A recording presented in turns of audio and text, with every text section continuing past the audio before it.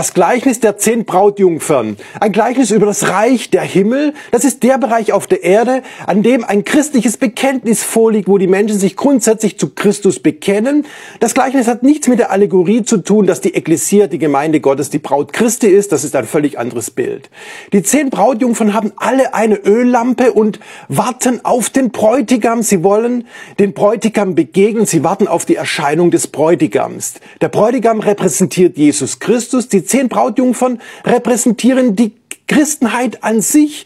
Die Christenheit läuft auf ein zukünftiges Ereignis zu, an dem Christus erscheint. Und in der Christenheit ist grundsätzlich ein christliches Bekenntnis. Dafür sprechen die Öllampen.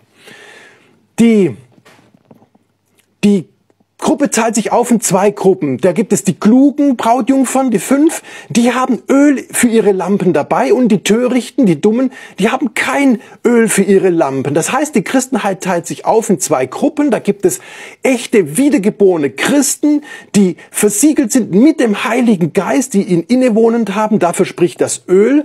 Und es gibt eine zweite Gruppe, die haben zwar Lampen, ein Bekenntnis, aber kein Öl. Sie haben den Heiligen Geist nicht innewohnend, sie sind nicht wiedergeboren. Ihr doch Docht brennt kurz, aber sie haben kein Öl. Sie haben nicht den Heiligen Geist. Diese zehn Brautjungfern warten auf den Bräutigam. Diese Wartezeit teilt sich auf in drei Phasen. Die erste Phase, da sind sie aktiv und gehen ihm entgegen. Das entspricht der frühen Christenheit bis zum dritten Jahrhundert. Die zweite Phase, da schlafen alle ein. Alle zehn, das entspricht der gesamten Christenheit bis zum 18., 19. Jahrhundert, der großen Zeit des Niedergangs der Christenheit. Und dann ertönt der Mittag Mitternachtsruf, das ist die Endphase kurz bevor der Bräutigam erscheint. Das ist, das sind die Tage heute. Und da schrecken alle zehn Brautjungfern auf und die Klugen schmücken ihre Lampen, sie zünden sie an und gehen dem Bräutigam entgegen und werden ihn tatsächlich antreffen.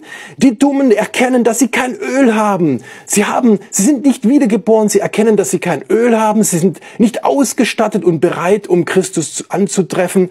Sie sind dann beschäftigt mit anderen Dingen aber sie gehen Christus nicht entgegen. Die zehn, die fünf Klugen treffen den Bräutigam an und haben Begegnung und Gemeinschaft mit ihm. Das sind die wiedergeborene Christen, die gerettet sind. Und die zehn Dummen gehen verloren. Sie werden ausgeschlossen aus der Gemeinschaft mit Christus. Das sind die Namenschristen, die kein, kein echtes Leben aus Gott haben. Sie sind ausgeschlossen und äh, Christus kennt sie nicht. Das ist das Gleichnis. Ein Gleichnis über die Christenheit, die sich aufteilt in zwei Gruppen. Echte, wiedergeborene Christen und Namenschristen, die zwar ein Bekenntnis haben, aber kein echtes, ewiges Leben von Gott.